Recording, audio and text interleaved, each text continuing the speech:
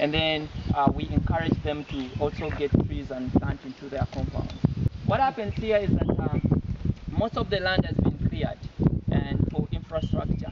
People clear land to put a building. You know, someone would buy like four acre of this portion and then cut every tree down and then he makes his um, you know he plants his compound like they here people like flowers and things like that so they end up not having even a single tree so if That's right, every yeah. house has got we have like a thousand houses in Entebbe and you find that Yeah. every house doesn't have a tree which is a very big impact you Yes. know?